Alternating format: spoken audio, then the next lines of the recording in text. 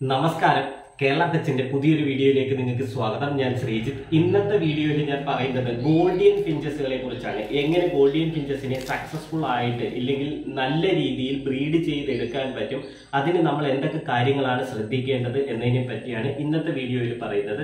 തീർച്ചയായിട്ടും ഈ വീഡിയോ നിങ്ങൾക്ക് ഉപകാരപ്പെടുന്ന ഒരു വീഡിയോ തന്നെയായിരിക്കും. ഇതേപോലെ ഇൻഫോർമേറ്റീവ് ആയിട്ടുള്ള വീഡിയോകൾ ലഭിക്കുന്നതിനായിട്ട് ഈ ചാനൽ സബ്സ്ക്രൈബ് ചെയ്യുക. അതോടൊപ്പം തന്നെ നിങ്ങളുടെ സുഹൃത്തുക്കൾ ബേഡ്സ് വളർത്താൻ ആഗ്രഹിക്കുന്നവർ ബേഡ്സ് ബ്രീഡിംഗ് ഇഷ്ടപ്പെടുന്നവർക്ക് ഈ ചാനൽ ഷെയർ ചെയ്ത് കൊടുക്കാനും ഈ ചാനലിനെ പറ്റി പറഞ്ഞു കൊടുക്കാനും മറക്കരുത്. അപ്പൊ വീഡിയോയിലേക്ക് വരികയാണെങ്കിൽ ഗോൾഡിയൻ ഫിഞ്ചസ് എല്ലാ ഫിഞ്ച് പ്രേമികളുടെയും വളരെ ഇഷ്ടപ്പെട്ട ഇല്ലെങ്കിൽ ആഗ്രഹമാണ് ഗോൾഡിയൻ ഫിഞ്ചസിനെ നല്ലപോലെ ബ്രീഡ് ചെയ്തെടുക്കുക പല കളർ വെറൈറ്റിയിൽ ബ്രീഡ് ചെയ്തെടുക്കുക എന്നത്.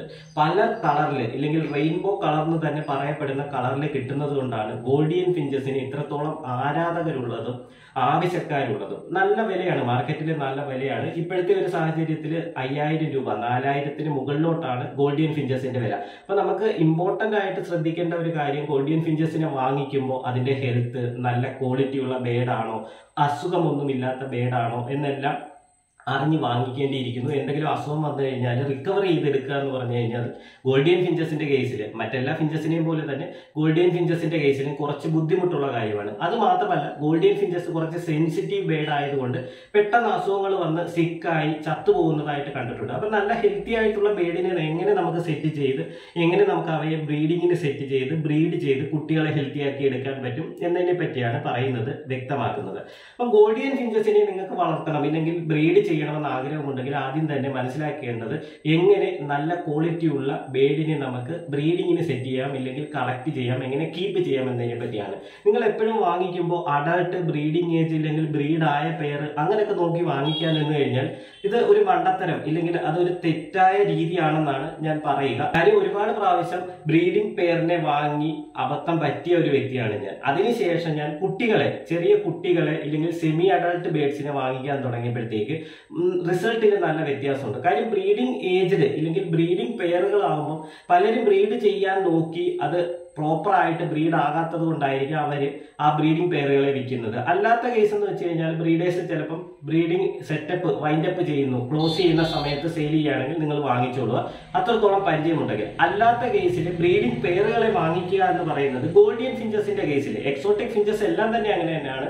പ്രത്യേകിച്ച് ഗോൾഡിയൻ ഫിഞ്ചസിന്റെ കേസിൽ കുറച്ച് റിസ്ക് ഉണ്ട്. കാര്യം അത് സെറ്റായി കിടന്ന സ്ഥലത്ത് നിന്ന് മറ്റൊരു സ്ഥലത്തേക്ക് മാറുമ്പോഴത്തേക്ക് ബ്രീഡിങ് അത്ര സക്സസ്ഫുൾ ആവില്ല. എത്ര നിങ്ങൾ ട്രൈ ചെയ്താലും ബ്രീഡിങ് അത്ര സക്സസ്ഫുൾ ആവില്ല. എന്ന് വിചാരിച്ച് എല്ലാം അങ്ങനെയല്ല. തൊണ്ണൂറ് ശതമാനവും സക്സസ് റേറ്റ് കുറവാണ്. ഒരു പത്ത് ശതമാനം ഓക്കെ ആയിട്ട് അത് നിങ്ങളുടെ ഒരു ഭാഗ്യം കണക്കിരിക്കും ഗോൾഡിയൻ ഫിഞ്ചസ് നിങ്ങൾ കുട്ടികളെ തന്നെ സെലക്ട് ചെയ്തെടുക്കുക. ഇല്ലെങ്കിൽ സെമി അഡൾട്ട് ബേഡുകളെ സെലക്ട് ചെയ്തെടുക്കുക. അത് ആ ഒരു ഏജിൽ നിങ്ങൾ നിങ്ങളുടെ അവയറി ഇല്ലെങ്കിൽ നിങ്ങളുടെ ലൊക്കാലിറ്റിയിലോട്ട് കൊണ്ടുവന്നു കഴിയുമ്പോഴത്തേക്ക് ഈ ബേഡ് അവിടുത്തെ ക്ലൈമറ്റുമായിട്ടും നിങ്ങളുടെ ഫുഡ് സെറ്റപ്പുകളുമായിട്ടും നിങ്ങളുമായിട്ടും അഡ്ജസ്റ്റ് ആവും. അതേപോലെ ഗോൾഡിയൻ ഫിഞ്ചസിന്റെ കേജുകൾ തീരെ അടിയിൽ ഒരു അഞ്ചടിക്ക് മുകളിൽ എപ്പോഴും വെക്കാൻ ശ്രദ്ധിക്കുക. തീരെ അടിയിൽ പോകരുത്. കേജ് സെറ്റ് ചെയ്യുമ്പോൾ കുറച്ച് ഹൈറ്റിൽ ഇരിക്കുന്നതാണ് എപ്പോഴും റിസൾട്ടിന് നല്ലത്. ഞാൻ റിസൾട്ട് ചെക്ക് ചെയ്ത സമയത്തെല്ലാം മുകളിൽ ഇരിക്കുന്ന ബേഡ്. എന്ന് വെച്ചാൽ കേജുകളുടെ ഏറ്റവും കേജിൽ ഇരിക്കുന്ന ബേഡ് ബ്രീഡിങ്ങിന് കുറച്ച് ആക്റ്റീവായിട്ടും ബ്രീഡിങ്ങിനും നല്ല റിസൾട്ട് വ്യത്യാസം കാണുന്നുണ്ട്.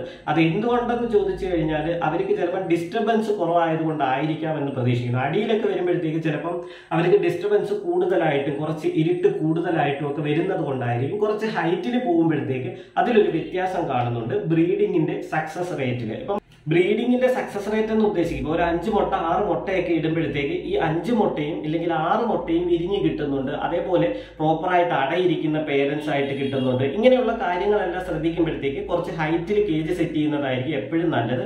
പോട്ടാണെങ്കിലും കുഴപ്പമില്ല ബോക്സ് ആണെങ്കിലും കുഴപ്പമില്ല. അതിന് വലിയ വ്യത്യാസം തോന്നിയിട്ടില്ല. കുട്ടികളെ നിങ്ങൾ നല്ല ഹെൽത്തി ആയിട്ടുള്ള സെപ്പറേറ്റ് പേരൻസിന്റെ ബ്ലഡ് ലൈൻ ഒരേപോലെ വരാത്ത രീതിയിലുള്ള പേരൻസിന്റെ കുട്ടികളെ സെലക്ട് ചെയ്യുക. അതേപോലെ തന്നെ ഇവരുടെ പേരൻസ് കുട്ടികളായിരിക്കുമ്പോൾ മേടിക്കുമ്പോഴേ ഇവരുടെ പേരൻസിന് എന്തൊക്കെ ഫുഡാണ് കൊടുത്തിരുന്നത് എന്തെങ്കിലും മരുന്നുകൾ എക്സ്ട്രാ കൊടുത്തിരുന്നോ ഇതെല്ലാം മനസ്സിലാക്കുക. അതോടൊപ്പം തന്നെ ഗോൾഡിയൻ ഫിഞ്ചസിന് നല്ല തിനയും തിനയോടൊപ്പം തന്നെ പല പല ഫുഡ് ഐറ്റംസും കൊടുക്കണം. കാൽസ്യം സപ്ലിമെന്റ് വൈറ്റമിൻ സപ്ലിമെന്റ് ഇങ്ങനെയുള്ള കാര്യങ്ങളെല്ലാം മസ്റ്റായിട്ടും കൊടുത്തിരിക്കണം. കുതിർത്ത പയറ് കടല crushed vegetables fruits crushed egg food ഇങ്ങനെയുള്ള കാര്യങ്ങളെല്ലാം മസ്റ്റായിട്ടും കൊടുത്തിരിക്കണം. അത് നിങ്ങളൊരു ഡയറ്റ് സെറ്റ് ചെയ്ത് ആഴ്ചയിൽ ഇന്ന ഇന്ന ദിവസം ഇന്ന ഇന്ന ഫുഡ് എന്നുള്ളത് നിങ്ങൾ ക്രമീകരിച്ച് ഒരു ടൈം ടേബിളിൽ തന്നെ കൊടുത്ത് ബേഡ്സിനെ നല്ല ഹെൽത്തി ആയിട്ട് എടുക്കുക. ഹെൽത്തി ആയിട്ട് എടുക്കുക എന്ന് പറഞ്ഞു കഴിഞ്ഞാൽ ബേഡ്സ് ഒരുപാട് സൈസ് വെച്ച് ഫാറ്റി ആയിട്ട് എടുക്കുക എന്നല്ല ഉദ്ദേശിക്കുന്നത്. ഹെൽത്തി ആയിട്ട് എടുക്കുക. നല്ലപോലെ ഫ്ലൈ ചെയ്യാൻ പറ്റുന്ന കേജിൽ സെറ്റ് ചെയ്യുന്നതായിരിക്കും ബ്രീഡിങ്ങിന് മുന്നേ വരെ നല്ലത്. നല്ലപോലെ ഫ്ലൈ ചെയ്ത് ഹെൽത്തി ആയിട്ടിരിക്കുന്ന ബ്രീഡിംഗ് ബേഡ്സിനെ അല്ലെങ്കിൽ ബ്രീഡിംഗ് ഏജിൽ ബേഡ്സിനെ പെയറിന് വേണ്ടി സെറ്റ് ചെയ്തെടുക്കണം. അല്ലാതെ നിങ്ങൾ ആദ്യമേ വാങ്ങിച്ച് ഒരു മെയിൽ ഫീമെയിലിനെ ഒരുമിച്ചിട്ട് വളർത്തുന്നതിലും റിസൾട്ട് കൂടുതൽ കിട്ടുന്നത് മിക്സഡ് ആയിട്ട് കിടക്കുന്നതിൽ നിന്ന് മെയിലിനെ ഫീമെയിലിനെ ഒരു പെയറിനെ അവർ തന്നെ കണ്ടെത്തുന്നതിനെ നമ്മൾ എടുത്ത് ഒരു ബ്രീഡിംഗ് കേജിലേക്ക് മാറ്റിയിടുമ്പോഴാണ് റിസൾട്ട് നല്ലപോലെ കാണുന്നത്. പിന്നീട് ശ്രദ്ധിക്കേണ്ട ഒരു കാര്യം ആദ്യം നിങ്ങൾ ബ്രീഡിങ് സെറ്റായി മുട്ട വെച്ചു. മുട്ട വെച്ച് കഴിഞ്ഞാൽ അത് ചിലപ്പോൾ റിസൾട്ട് ഒന്നോ രണ്ടോ മൂന്നോ പ്രാവശ്യം ചിലപ്പോൾ നല്ലപോലെ റിസൾട്ട് കിട്ടില്ല.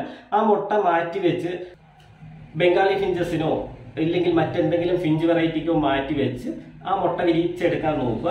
ഒന്നോ രണ്ടോ മൂന്നോ പ്രാവശ്യം ഇവർ അടക്കി ഇരുന്നാൽ പോലും ചിലപ്പോൾ മുട്ട പ്രോപ്പറായിട്ട് വിരിഞ്ഞ് കിട്ടില്ല. മുട്ട വിരിഞ്ഞ് കിട്ടിയാൽ കുട്ടികൾക്ക് തീറ്റ കൊടുക്കാതിരിക്കും. ഇങ്ങനെയൊക്കെയുള്ള പ്രോബ്ലംസ് കാണുന്നുണ്ട് ഗോൾഡിയൻ ഫിഞ്ചസിൽ എങ്കിൽ തന്നെയും നല്ല പേരന്റൽ കെയർ ഉള്ള ബേഡാണ് ഗോൾഡിയൻ ഫിഞ്ചസ് നമുക്ക് സെറ്റ് ചെയ്തെടുക്കാൻ പറ്റുന്നതേ ഉള്ളൂ. നല്ല കണക്ക് പ്രോപ്പറായിട്ട് മെയിന്റെയിൻ ചെയ്യുക. നമ്മൾ ബ്രീഡിങ്ങിന് സെറ്റ് ചെയ്ത് ബ്രീഡിങ്ങിന് ഇരിക്കുന്ന സമയത്ത് എപ്പോഴും തിന ഇല്ലെങ്കിൽ എക്സ്ട്രാ എന്തെങ്കിലുമൊക്കെ ഫുഡുകൾ കേജിൽ ഉണ്ടായിരിക്കണം. ഇവർ ഒട്ടും ടയർഡ് ആവാനേ പാടില്ല. അതേപോലെ തന്നെ നിങ്ങളുടെ കേജിനകത്ത് ഒരുപാട് തണുപ്പടിക്കാത്ത രീതിയിൽ സെറ്റ് ചെയ്യുകയാണെങ്കിൽ വളരെ നല്ല കാര്യമാണ്. കാര്യം ഗോൾഡിയൻ ഫിഞ്ചസ് പെട്ടെന്ന് ചെറിയൊരു തണുപ്പ് വ്യത്യാസം ഇല്ലെങ്കിൽ ഒരു വെതർ കണ്ടീഷൻ വ്യത്യാസം വന്നു കഴിഞ്ഞാൽ അപ്പോഴും തന്നെ സിക്ക് ആവുന്നതായിട്ട് കണ്ടിട്ടുണ്ട്. അതേപോലെ വളരെ കെയർഫുൾ ആയിരിക്കണം. മറ്റ് ബേഡ്സിന്റെ അറ്റാക്ക് മറ്റ് ജീവജാലങ്ങളുടെ അറ്റാക്ക് മൈറ്റ്സിന്റെ പ്രോബ്ലംസ് വിരയുടെ പ്രോബ്ലംസ് എല്ലാം ഇതിന് വരാനുള്ള ചാൻസ് ഉണ്ട്. പ്രോപ്പറായിട്ട് വിരയ്ക്ക് മരുന്ന് കൊടുത്തിട്ട് വേണം ബ്രീഡിങ്ങിന് സെറ്റ് ചെയ്യാൻ അതിന് മുന്നേ ഇല്ലെങ്കിൽ ബ്രീഡിങ്ങിന് സെറ്റ് ചെയ്യുന്നതിന് മുന്നേ തന്നെ വിരയുടെ പ്രോബ്ലം എല്ലാം സോൾവ് ചെയ്തിരിക്കണം. ബ്രീഡിങ് സമയത്ത് ഇല്ലെങ്കിൽ ബ്രീഡിങ്ങിന് സെറ്റ് ചെയ്തുകൊണ്ട് വിരയുടെ മരുന്നൊന്നും കൊടുക്കാൻ പാടില്ല. അപ്പം ബേഡ്സ് ഒരുപാട് സിക്കായി പോകുന്നതായിട്ട് കണ്ടിട്ടുണ്ട്. നമ്മൾ പ്രോപ്പറായിട്ട് മെയിന്റെയിൻ ചെയ്ത് അവരുടെ ഫുഡും ഡയറ്റ് കാര്യങ്ങൾ അവരുടെ കേജ് സെറ്റപ്പുകൾ ഇതെല്ലാം ഒന്ന് മെയിന്റെയിൻ ചെയ്ത് പോയി തൊണ്ണൂറ് ശതമാനം വരെ ഗോഡിയൻ ഫിഞ്ചസ് പ്രോപ്പർ ആയിട്ട് ബ്രീഡായി കിട്ടും ഫുഡ് വെറൈറ്റീസ് ആയിട്ട് കീപ്പ് ചെയ്യുക. കാര്യം ഒരേ ഫുഡ് തന്നെ എപ്പോഴും കൊടുക്കാതെ പല ഡിഫറെന്റ് ഫുഡ് ഇപ്പം ഞാൻ പറഞ്ഞില്ലേ തിന കൊടുക്കാം. തിനയുടെ തന്നെ പല ടൈപ്പ് തിനകളുണ്ട്. അതെല്ലാം മിക്സഡ് സീഡ് ആയിട്ട് വാങ്ങിക്കാൻ കിട്ടും. അത് കൊടുക്കാം. നെഗർ സീഡ് എന്ന് പറഞ്ഞിട്ട് ഒരു സീഡ് വാങ്ങിക്കാൻ കിട്ടും. അത് ഓയിലിയാണ് ഫിഞ്ചസ് കഴിക്കുന്ന ഓയിലി സീഡാണ് അത് കൊടുക്കാൻ പറ്റും. എഗ് ഫുഡ് മസ്റ്റായിട്ട് കൊടുക്കുക സോഫ്റ്റ് ഫുഡ് പ്രിപ്പയർ ചെയ്ത് കൊടുക്കുക. അതോടൊപ്പം തന്നെ ക്രഷ്ഡ് വെജിറ്റബിൾസ് സ്പ്രൗട്ട് കുതിർത്ത പയർ കടലയൊക്കെ ഉണ്ടല്ലോ.